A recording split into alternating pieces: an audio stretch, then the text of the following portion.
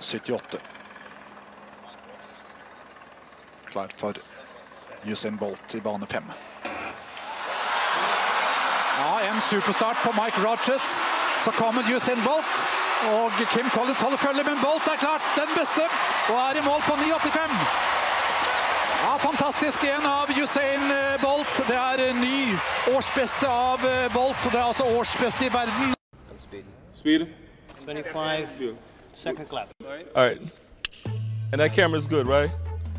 Camera over there is good? Cool. So, what I want to know is at what age did you start dreaming about being an Olympic champion? after the World Juniors, really. Uh, I was 15. I ran in front of my home crowd, and the energy and the love that I got let me want to do more for my country, let me want to do more in track and field. And I was like, yeah, you know what? I want to be an Olympic champion. At this stage of your career, how great is the pressure? For me, I try not to pressure myself too much uh, because uh, the worst thing you can do is start worrying. You got to remind yourself that, listen, I want to do good for myself. I have to just work hard and do my best. Uh, you got to remind yourself that uh, you can't win everything. You're to win some, you're to lose some, for sure. That's how the sport is. And the first thing my coach taught me when I was in the sport is that you got to learn how to lose before you can learn how to win. What was the focus coming into today's training session? Well, uh, it was all about speed and endurance today, uh, to get me around, to get me off that corner strong. So when I, when I'm in the home stretch, I'm strong enough to get home. So I do a lot of work, speed endurance to keep, to, get it right. So, because the hardest part of a 200 is when you get into that home stretch and your body start getting tired, your legs start dropping, and then you start slowing down. So the more work you do, the better you feel when you come in the straight, so you can run home and stay upright and stay strong. Earlier in the, in the track season, you had the, the hamstring injury. Where are you strength-wise and health-wise? Well, um, I'm, I'm getting there. Uh, I'm definitely getting there. I'm feeling much better. Uh, I don't have any problems with my hamstring now, so that's good. I'm fully confident now in pushing myself in training. How much more do you need to be at your absolute best? For me, you, you don't know when you're going to get there. Uh, I think it, the key thing is uh, to train hard, and you definitely need competition.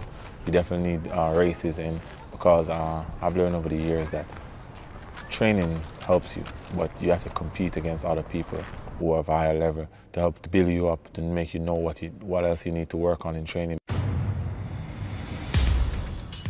Everybody on this circuit has talent. So get over it. don't feel like you're gonna come on this circuit and because you're real talented that you don't have to train.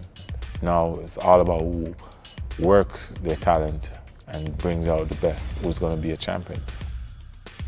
You really have to push yourself now to step up a level. And every year you gotta keep trying to step the level up. So it's talent on one hand, but you gotta work to get it there.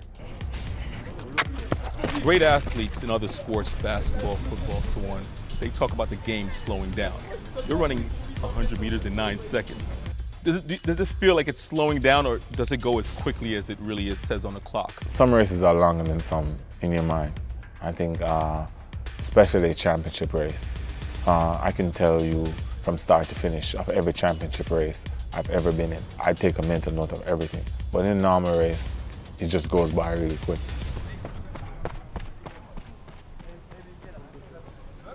As a world record holder, how much faster can you get? You can never tell how fast you can go. But uh, for me, I think there's definitely room for improvement, especially over 200 meters. One of my biggest dreams is to, to really push the barrier and to get under 19, sub 19.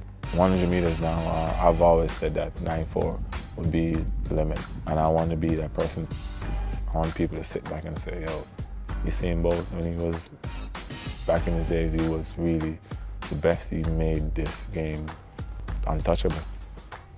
Anything is possible. That's how I live my life. You can't limit yourself to anything really.